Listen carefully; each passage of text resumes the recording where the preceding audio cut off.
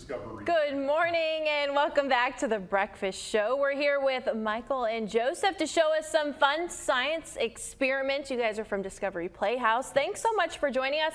So what do we have first? What are we going to be doing? Well, thanks for having us Yeah. on. Um, I'm the director out of Discovery Playhouse, and we are going to be ringing in the new year with some really cool science experiments here. So, uh, Mr. Taylor helped borrow from New York's ball drop, and we're going to show you what you guys can do at home during those winter weathers where it's either you know really rainy and warm or um, really freezing and cold. Yes. Mm-hmm. So we've got some stuff that you can do around the house with things around the house. So if you guys want to go ahead and get started, I'm going to go do some kitchen magic real quick. Awesome. Sure. So yeah, we got a bit of an engineering challenge for everyone at home here today. We're going to be building our very own New Year ball drop. Oh, this is awesome. Uh, it's a very basic structure. It's going to be using some simple pulleys and levers in order Mm-hmm. to make it work. But the, the basic structure involves two support beams and then what we call an axle that goes between the beams. So you and I are going to be making some sample uh, support legs here by taking some paper and just kind of taping them together into tubes. Okay. Uh, what I really like about these activities is that you can use your imagination to to no end. Yeah. Uh, we're using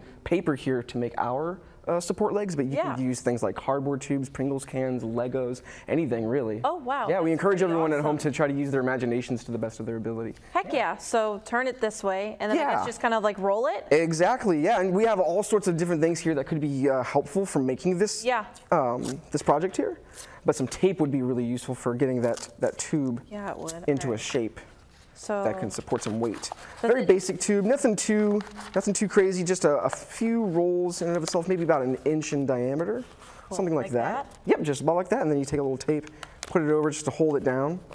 And one And thing that that, you guys our- can do during this is encourage your little ones to uh, ask some open-ended questions. What do you think the ball is made of? What do you think supports the structure of the New York um, the ball drop? And how does physics play into Yeah. that? So it helps with open conversations. And here's some of that kitchen magic. This Look is at look at you that. guys. You work so fast. Oh, we did.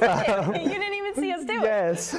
So this is our basic structure here. You, again, you can see that axle, and then we have a straw lever. So when you take the lever and you rotate it on the axle, it starts to uh, raise or lower the ball. Look at that. This is uh, at the point where you can start counting down to, to the new year, and at the very end, you can just kind of drop it. Oh my gosh. And it's wonderful, right? Very entertaining. It's like the real ball drop. Yes. Holy cow. Go ahead and give it a try. Yeah, yeah. Let's do so it. we can, I can hold this for you, and you can just kind of turn it this way, All right. Let's turn the just lever. like that. Now, we found that this is um, pretty much recyclable. That's really important. Oh, Um, yeah. Reuse these products, um, or you can uh, add in extra levers, different things like that. We encourage you to attempt this. And if it fails, that's the beautiful thing of science. Like, keep trying, try different things.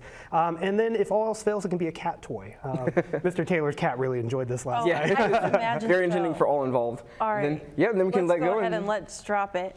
Whee! All Oh, right, that is so cool. Holy cow. Well, that was awesome. I know you guys have another experiment to show us. Yes. So let's see that one. This one is going to be really cool Well, too, I can imagine. Yes, I don't think they told you what Oh, you were going to be you. doing this morning when you got to work. No, but, they didn't. Uh, safety is first here, um, and at Discovery Playhouse too. So we're going to get some goggles for this one. We're going to ring in the New Year Discovery Playhouse style. So we've got uh, two things of water here, Mm-hmm. some soap. We have some mystery fuel in this can here, and then we have a lighter. So you're going to be lighting our hands on fire today right. uh, with our uh, flammable bubbles. Oh, so cool. What Mr. Taylor is doing here is adding in some soap. If you'll hand me that dowel rod, we'll get Yeah, no problem. up.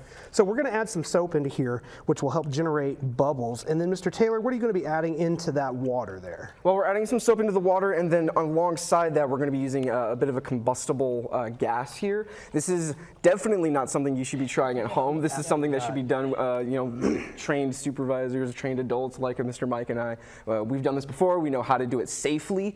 Uh, so this is something that should be viewed just from the comfort of your television screen, or if you'd like, you can come down to the Discovery Playhouse and watch this live too. Oh, this is So awesome. yeah, we're gonna take a little bit of that gas and put it in the water, and as I let this gas go, you'll notice it's getting Look at all, trapped it's inside the soap. up so much. And Mr. Mike is gonna wet his hand to act as a thermal barrier, and that's gonna protect his hand.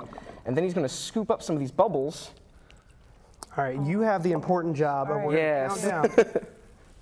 All right. When do I go? So uh, we'll count down three. Three, two, one. Oh no.